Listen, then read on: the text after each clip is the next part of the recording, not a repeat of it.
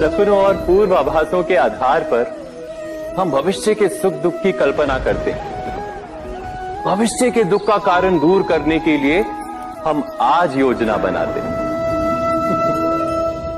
किंतु कल के संकट को आज निर्मूल करने से हमें लाभ मिलता है या हानि पहुँचती है? ये प्रश्न हम कभी नहीं करते। सत्य तो ये है कि संकट और उसका निवारण सात जन से व्यक्ति के लिए भी और सृष्टि के लिए भी। नहीं, आप अपने भूतकाल का स्मरण कीजिए, इतिहास को देखिए। आप तुरंत ही ये जान पाएँगे कि जब जब संकट आता है, तब तब उसका निवारण करने वाली शक्ति भी जन्म लेती। यही तो जगत का चलन है।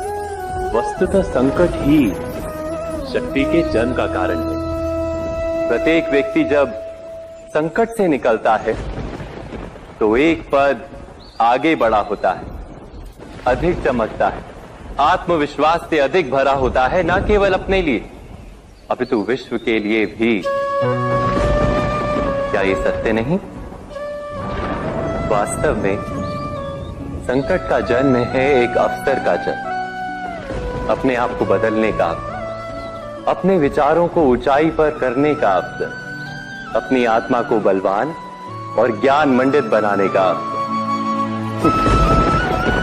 जो ये कर पाता है, उसे कोई संकट नहीं होता, किंतु जो ये नहीं कर पाता, वो तो स्वयं एक संकट है विश्व के लिए।